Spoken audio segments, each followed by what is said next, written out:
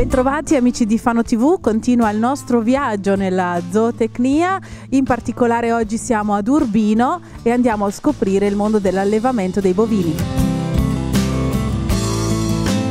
Parliamo di allevamento biologico, in che cosa consiste l'allevamento biologico dei bovini? L'allevamento biologico consiste nel fatto che cioè, gli animali devono stare al pascolo, tutte le fattrici, almeno sei mesi, io ce l'ho tutto l'anno sinceramente perché faccio ho il pascolo collegato alla stalla, ho questa fortuna, perciò ce l'ho tutto l'anno.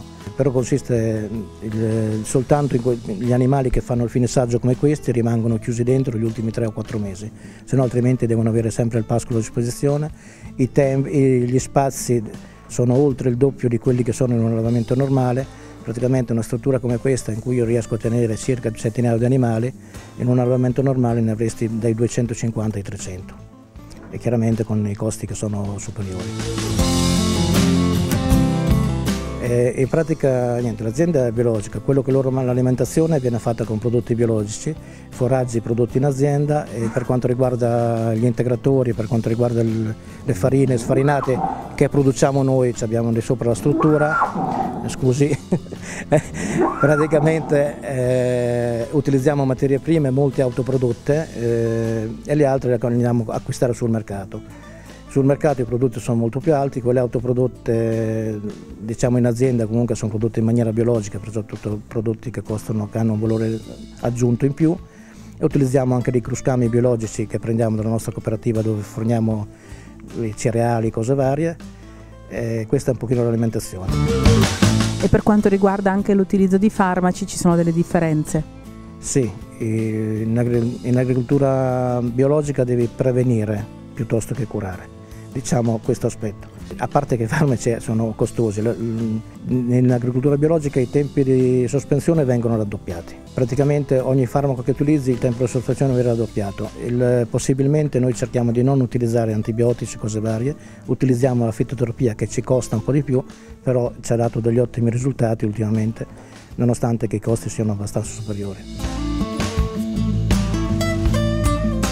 Vantaggi e svantaggi di agricoltura e allevamento biologico?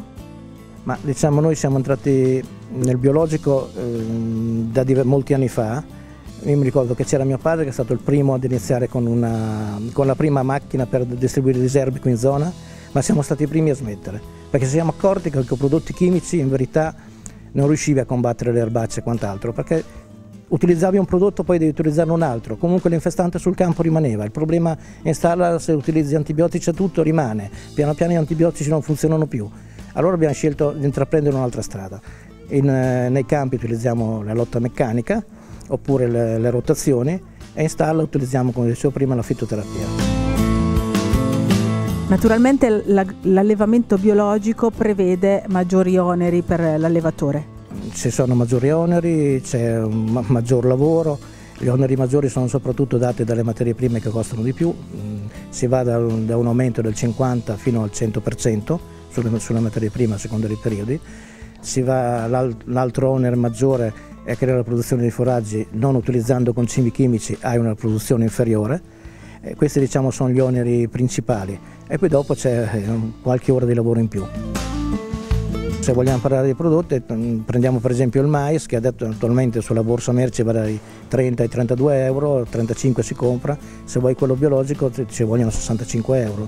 Il favino che va intorno ai 40, 42, 43 si compra, quello convenzionale, sul biologico superiamo i 60. Il di soia meglio non parlarne perché lì si superano i 100 euro contro i 50 di quell'altra, a parte che la soia non la utilizziamo, noi comunque tutti i prodotti sono molto più cari. Per quanto riguarda aspetti di certificazioni e burocrazia? Burocrazia un po' in agricoltura ormai c'è dappertutto, diciamo. nel biologico abbiamo dei registri in più, abbiamo delle cose in più che comunque facciamo da anni.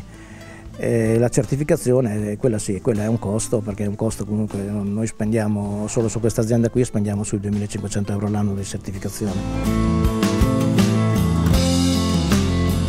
Anche rispetto alle certificazioni e agli aspetti burocratici ci sono maggiori oneri?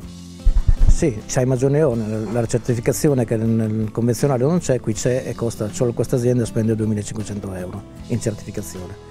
Poi abbiamo gli oneri di tutti i registri, eh, registrare tutto quello che noi comunque compriamo, quello che facciamo, trattamenti, diciamo, oltre a fare la registrazione normale all'ASL, i trattamenti sanitari dobbiamo farli anche sul registro, sui registri del biologico. Va tutto registrato, tutto catalogato e chiaramente la sera quando hai finito di lavorare devi tornare a casa e farti il tuo compitino. E finisce qui un altro interessante capitolo della zootecnia, l'allevamento biologico dei bovini. Appuntamento al prossimo speciale.